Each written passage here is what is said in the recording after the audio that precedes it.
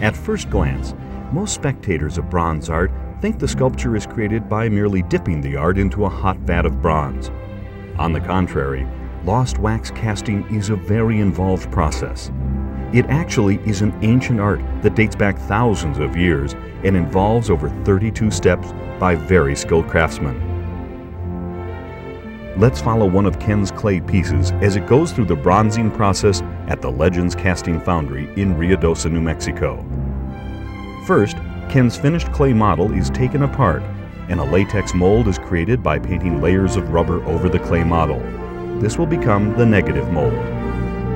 After the rubber has cured, a mother mold is made out of plaster to hold the rubber in place. Next, the mother mold is taken apart and the clay is removed. Now, molten wax is poured into the mold, forming a perfect original sculpture. The wax is then carefully removed from the mold. The wax model is identical to the original model.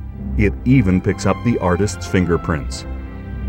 Now, the wax model is carefully touched up and made ready for the investment process. A mold is created over the wax model. The wax model is coated with up to seven layers in a silicone slurry in a temperature and humidity controlled environment. The model is placed on a shelf to dry. This investing process can take up to seven days. Then, the invested mold is fired in a kiln in order to vacate the wax and fire the mold in preparation for the molten bronze. This step removes the wax by melting it away, and thus the name, the lost wax process. Bronze, an alloy that is 95% copper, is poured at 2150 degrees Fahrenheit.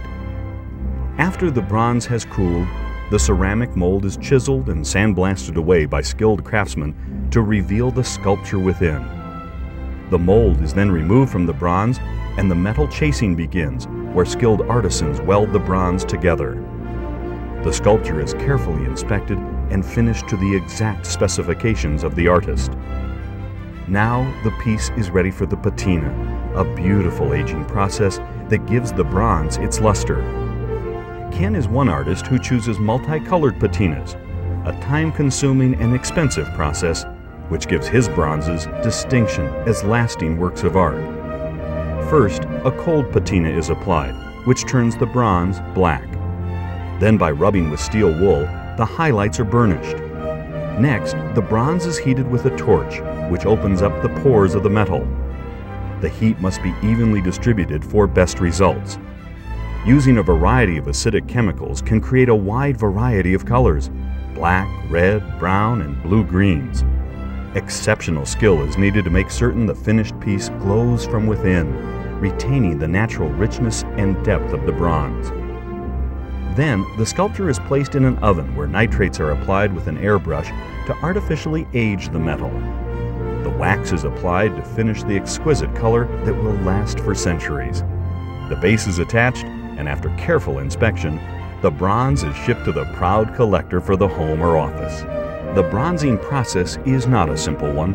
It's one of the oldest art forms known to man, dating back over 3,000 years.